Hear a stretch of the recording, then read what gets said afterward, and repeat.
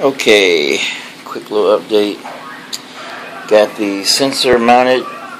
This will turn manually, of course. It's just there to be still. If you can see behind there's an opening, cutout. That's for airflow. So, air can get in through there. Got a fan I'm going to mount. It'll pull air through cool everything. And got the gun mounted underneath.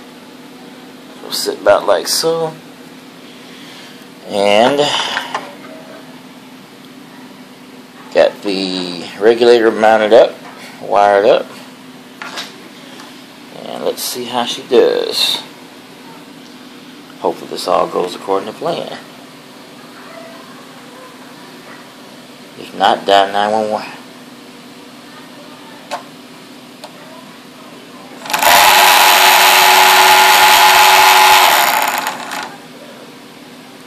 I like it.